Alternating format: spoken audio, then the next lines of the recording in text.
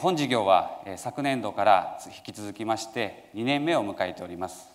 この事業は若い従業員の皆様の定着を実践的に取り組む目的で開催されておりまして昨年度今年度合わせましてモデル企業様の数はですね計36社そして160名に上ります。今年のこの事業ですねまずは取り組みました中身のですねイメージ VTR こちらをご用意しておりますのでご覧ください。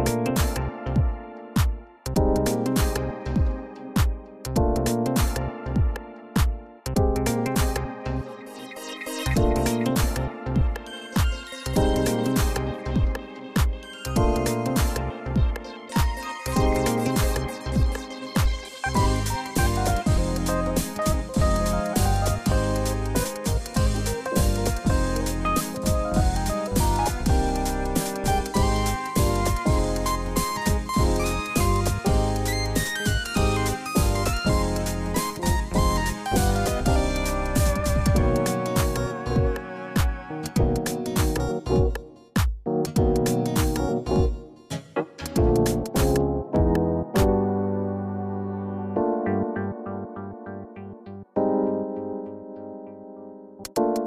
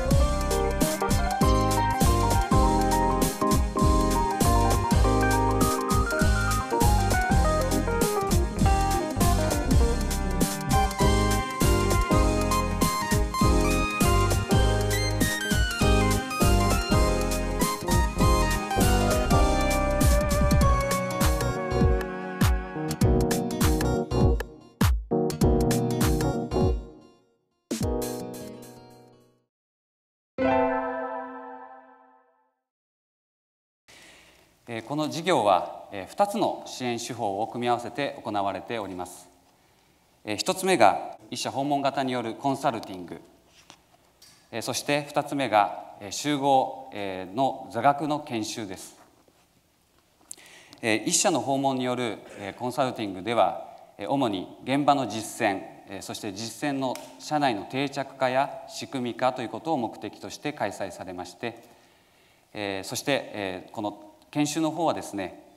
主にスキルアップそして全モデル企業20社による共有会を目的として開催されました。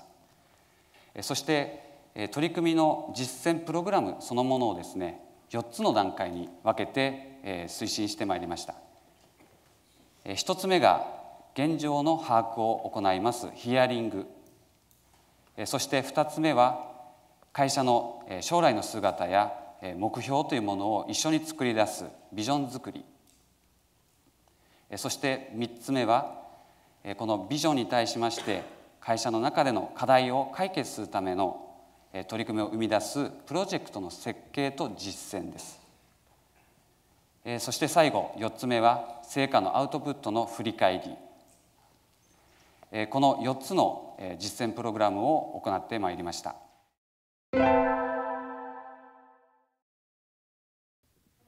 えーと、まずはこのビジョン作りにあたってさっきのこのヒアリングっていうのがすごく大事でした。現状を把握してこう自分たちの今あるのはどういう状態なのかっていうのを全員でこう共有するこのワールドカフェの方式っていうのを使って全員で共有をしていきました。でそこから分かったところからこうじゃあどうなりたいのかっていう理想を立ててそれに向かってのビジョン作り。これは全員で行っていたのが良かったです。ビジョンとか経営理念とかって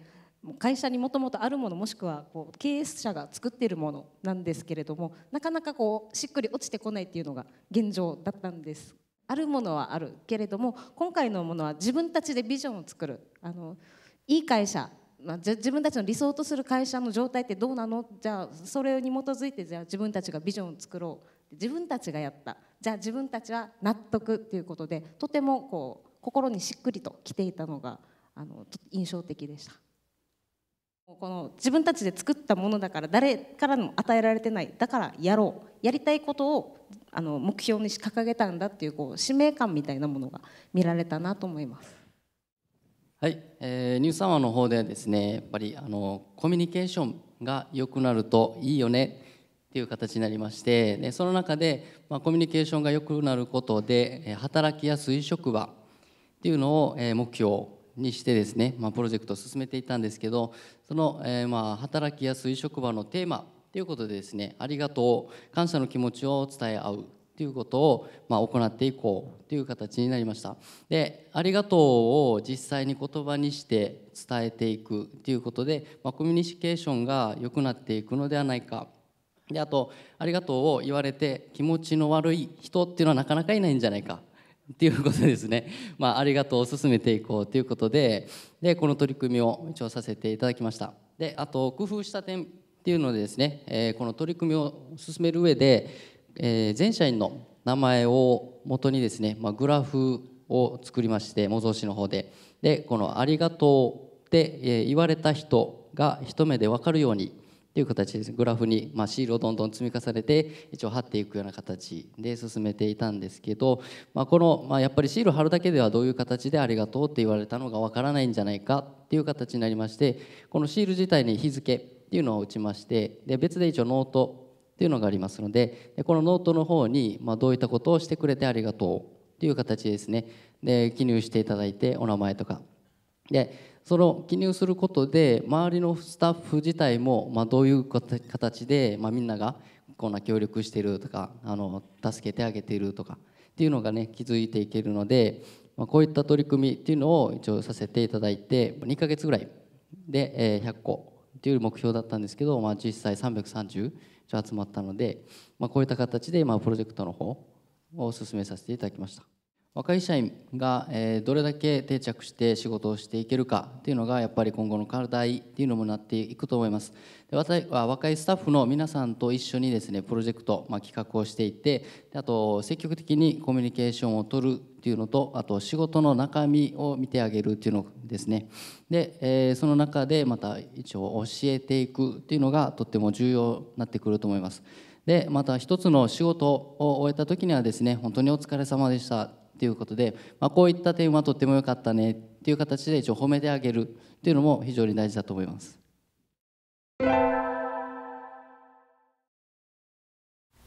嬉しかった言葉って言ったらもう全部なんですけどこの「ありがとう」っていうのをこの忙しい時期に見つけられるのはすごくいいことだなって思うって言われたのが一番心に残ってて今このプロジェクトやり始めてはっきり口で「ありがとう」とかそういったのも言ってくれるし上からの「ありがとう」って認められた感がすごくあるんですね。花店の副店長が自分が一番変わったって言ってくださったのが私の中ですごい嬉しくて変わったって言ってもらえただけですごい嬉しいですしこのプロジェクトを始める前ではなかったことなのでこれが集まったらまた何か大きなことが変わるんじゃないかなっていう期待が持てますね目標は金子課長なのではいやっぱりこの課長としてスタッフの手本になるために一生懸命人一倍頑張らないといけないっていう姿勢をとても尊敬しているのでガデコ課長みたいになるためには3年は必死でもがかないといけないかなと思います。今まで会社にいろいろ求めてたものを自分たちからいい会社にしようとして積極的に行動するしていけてるのも金子課長のおかげだと思ってるのでありがとうございます。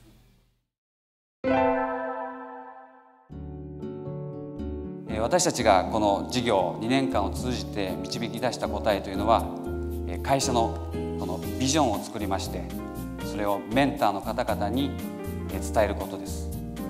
えビジョンを作ってメンターに伝えると。えこれはえ聞かれた方々の中にはえもうすでにやってるんだけどなとかですね当たり前なんだけどなというような思いを持たれてる方もいらっしゃると思います。えでもですね私たちが導き出した答えというのはすでにやられてることであってもビジョンを見える形で形で表現をする。見える化。そして次も大事なんですけども経営陣の方だけではなくてメンターの方や従業員の方々含めて一緒に作ること。そして一度だけではなくて何度も何度もですね伝え続けること。この3つ。これが非常に重要です。